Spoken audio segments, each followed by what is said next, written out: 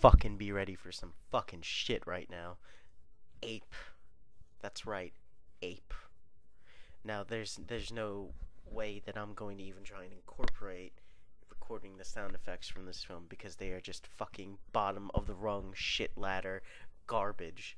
This film is like cerebral palsy running through your whole body and you just you're just stuck there in a timeless void suffering over and over again and drowning in a, a puddle of your own filth that you've made because you can't move. I, I would assume you would feel like you've just fallen off a horse and become paralyzed. And and you just you don't you can't get up. You want to get up, but you can't. That is what watching Ape is like. The, the, the film revolves around the plot that a giant ape has been knocked out and uh, he's on a boat being transferred to Disneyland or some shit. Uh, They never really explained where this ape is from or how it got to be so huge or whatever. It came out around the same time as the remake of King Kong in the 70s.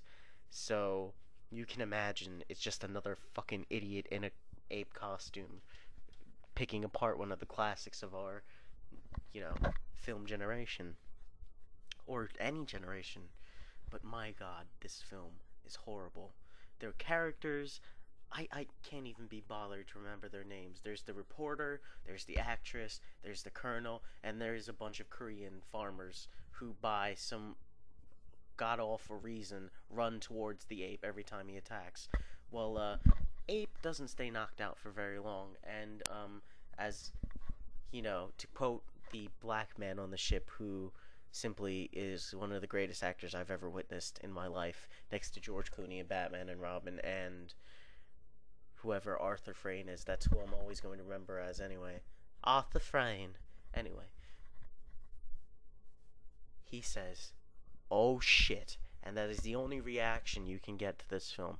I witnessed this film with Sarah, Logan, and Arlene, Logan's girlfriend, and we I don't think anyone can sum up how terrible this film is to watch with a group because you're so disjointed, you're so startled, and you're so puzzled, but you're laughing anyway.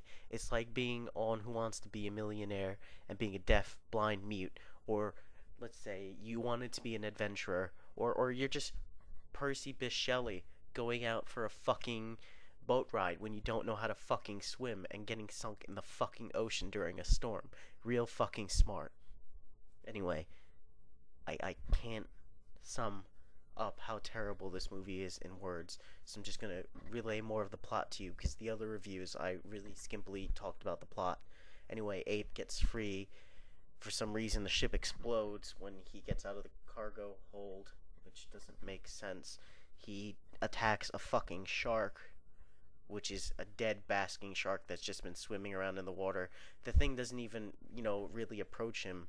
For some reason, on the movie poster, they make it look all epic, and the actual confrontation is the shark being swung around by a guy in an ape suit, and then the fucking shark is ripped in half, as if the torture of being in this film was not enough for the producers and the director. They had the sick mind of putting this poor shark to be ripped apart by this fuck in this ape suit, who then goes to blow up a factory and from that we transition to the reporter in a fucking airport and he meets the actress and all this shit ensues and then they find out ape is attacking villages. The colonel's always on about how he wants to do this or that and always using goddamn for every sentence. I think he's the most enjoyable character in this film next to ape himself. I mean because there's don't get me wrong seeing korean farmers being smushed to death by a giant ape is enthusing and it's it's just beautiful. But the colonel's acting where he just wants his goddamn cigarettes. You just you you start to feel for the character and you can see the emotions conveyed through his anger. And that is the only thing that you can feel for this film besides revolt and disgust. But it's it's equally enjoyable because of those things. So it's it's a double-edged blade. And i personally I, I will never see a film like this again. I know I say that a lot, but I will never see a film like this again. And that's why Ape was the first topic I started. As soon as Logan had given me the idea and this this is all his brainchild. I'm just a reviewer and a co-owner, but I made the cult, so therefore, by converse association, I am the owner. Anyway, this film fucking inspired what you have before you today. So you should all have a moment of silence to thank this film. I can't fathom where we'd be without your support, guys. So thank you. We would probably be on MySpace inviting people to read our review of The Pacifier, which would contain fuck, shit, garbage, Vin Diesel is a faggot, and all sorts of fun stuff. Not that we hate gays. I mean, we love gays. Logan liked Milk. I, I liked Mrs. Doubtfire. You can call that gay. Dressing up as a woman is pretty gay. I would know. I used to be one. Anyway, uh, this this film, Back to Ape, we just, I I I can't. I I want to so badly take you by the hand and walk you through this film, all of you listening in. I just want to to hold your hand and walk around with you while we witness this. I mean, Sarah was in tears. She was laughing so hard. I I can't I can't blame her because oh my god, was I in tears as well?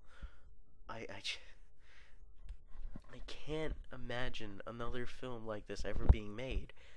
It's definitely one of its own kind and because of its sick nature, we run into what I would consider it to be a, a, classic more so than King Kong because this is a classic that can't be imitated.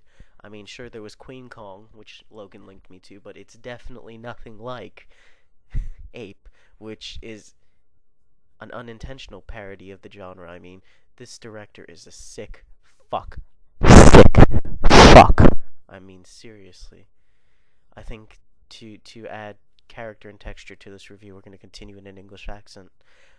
So, henceforth, once that, you know, has happened and he's on the island of Korea for some reason unexplained to us, he goes around and smushes things and then they send in artillery to get him and you, you sort of see rape scenes. The actress is in a film where she's constantly being raped and the director is telling it to happen gentler uh, after, you know, just ignoring that factor, we have the rest of the film, which we so enthusiastically enjoy. Uh, I find it to be a sick pleasure. I don't really have any gripes with the plot. That's not the problem. It's the poorly conceived acting. It's the poorly conceived set design. It's the poorly conceived gorilla suit. I mean, at times, there's a fucking time when the gorilla flips the people off. I mean, where did Ape learn to do that? Where what is the backstory behind it? It's like the Dark Knight. You want to know where the Joker is from, and you really don't learn that. You don't learn it, and it bugs you, and it, it gets at you, and it just eats you up inside. But otherwise, you know, I, if I had to give this film a rating, I would give it five giant apes rampaging through a small Asian country out of five. I'm aware Korea isn't small, but it was the first thing that came to mind. I mean, if you would like to correct me on that, do so in the comment area of this topic. So I could go and pretend to edit this and put that in and make you feel as if you were worth something, which clearly, if you're in this cult, you really aren't. So hopefully, you and I have found that balance there. Um, but back to being an American, I really,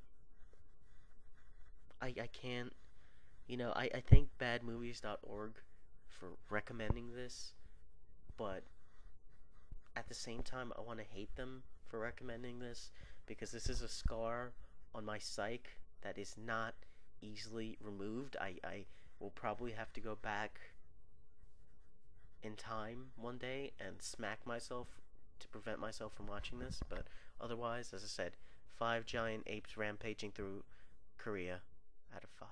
Thank you.